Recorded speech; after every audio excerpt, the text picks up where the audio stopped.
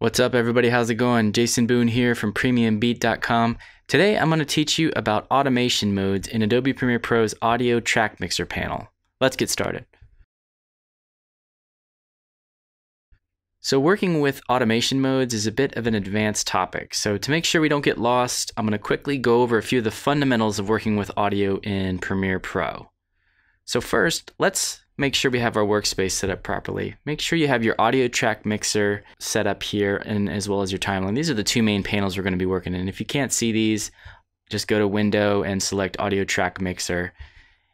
Now, if you look over here, you can see we're looking at the same thing here. We have two audio tracks here on our timeline. And if you look at our audio track mixer, these two tracks correspond. These two channels here correspond to these two uh, audio tracks. And then we have a master track, which you can find down here.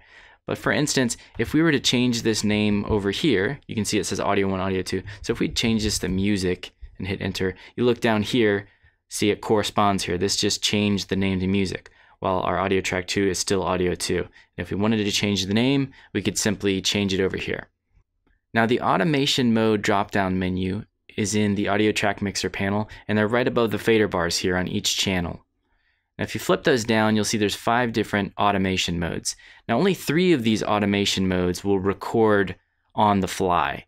Now, what do I mean by record? Well, it's when you are playing your video back or your audio back, you can make adjustments to that audio and it will record them. And it records them as track keyframes. Now, before we get a little too confused here, there's a difference between clip keyframes and track keyframes. So let me show you the difference. If you go down here to the audio header section of the timeline, there's a little show keyframes button. So let's open this up. We're basically going to change our view here from clip keyframes to track keyframes. So right now we're looking at clip keyframes. And if you look over here in our clips, you'll see rubber bands on each clip. And we can add keyframes to these. But again, these are just clip keyframes that we're adding. So we can select track keyframes and we're going to select volume. Now watch what happens to the rubber bands on our timeline here. You'll notice that this switched to one main rubber band. So now we're looking at uh, rubber band for the track. So any keyframes we make here are, are basically going to change the entire track. So that's what we want to have on both of our tracks here. We want to be looking at the track keyframes. So there we switch this one as well. Now you'll notice that by default, all of our tracks and channels are set to read automation mode, which is the default. Now read is as simple as it sounds. It's going to read any track keyframes that are in those tracks and adjust accordingly. But right now we don't have any track keyframes. But if, we were to make an adjustment to our volume here, it's just going to change the entire track uniformly. So let's have a listen here.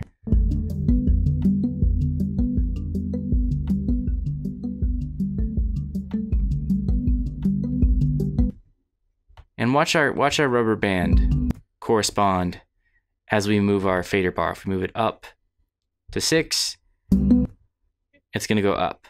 We're going to move it back down to zero. So it's simply reading uniformly what we're doing here. So our next automation mode is off.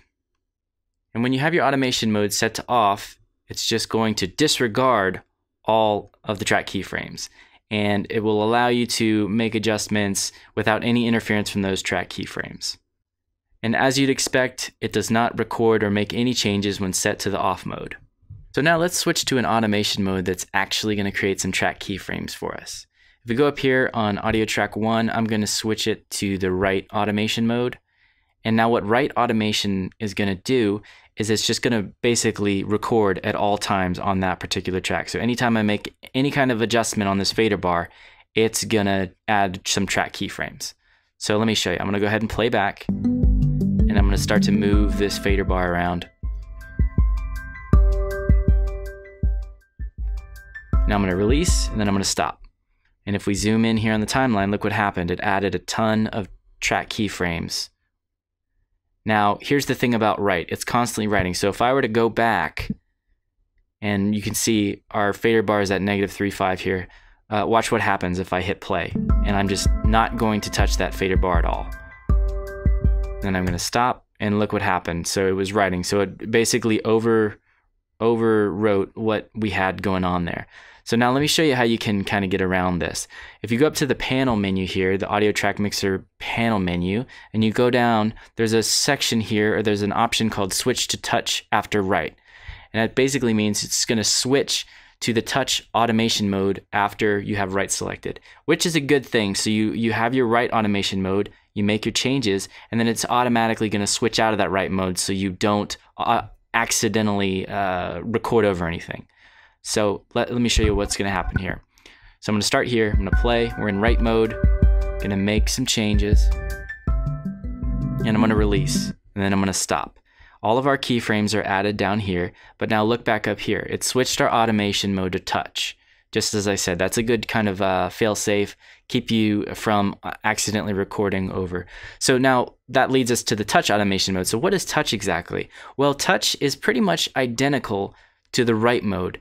When you play it back and you move that fader bar around, it's going to make those adjustments. It's going to add those track keyframes. But the second you release or I let go of that fader, uh, that fader bar, it's going to automatically match it to whatever value I had set at the beginning of the automation. So I know that might sound like a lot, but let me just show you what I'm talking about. I'm going to drag the playhead over here. I'm going to hit play. Okay, and if you see I'm waiting a couple of seconds and then I'm gonna grab here now and I'm gonna just drag it down and watch what happens. I'm gonna release it and on its own, it's going back up to that value. I'm gonna drag down again, drag up, and watch, I'll release it and it's going back. It's doing what it's called an auto match of that time there. But now let's go back and look what happened. You'll notice, unlike the write mode, it didn't start recording until I grabbed that fader bar right here and then it started making all these adjustments and it, was basically as as I said before, in touch mode, it automatically matches that value that you started off with. And there's another preference here. You can actually change under preferences audio. If you look here at the top, it says auto match time one second. And what that is basically doing is telling you is that it takes one second right here to go back and auto match that time that started off right here. So touch mode is pretty cool. So now let's go to our last mode, which is latch. Now latch is very similar to write and touch, but the fact that it doesn't do that auto match. It's basically latching to the time. It's not auto matching and returning to your first uh, volume level at the beginning of the automation. So let's show, let me show you here. We're gonna play back, then we're gonna grab it. Let's say we move it down and I release it now and it's gonna latch to that point. And I'll move it up, it's latching there it down, and stop. And you can see here, added all of our keyframes, keyframes here, latching, latching. So those are your automation modes. Let me go back here. You can see. Now, the last thing I want to make note of is that if you zoom in and look at all these keyframes, there's just an insane amount of keyframes. And if you've ever used automation modes before and you try to go back and make some adjustments, it's just crazy. It's almost impossible trying to, you know, get all these keyframes to do what you want. So if you want to have fewer keyframes recorded during these automation modes, you can go back to the audio section here and there's an automation keyframe optimization. So if you change these, you can kind of uh, adjust, you know, the, the number of keyframes that are added. So that, my friends, is the automation modes in Adobe Premiere Pro. I hope you enjoyed the tutorial and be sure to check out PremiumBeat for high quality royalty free music and sound effects for all your media and video projects.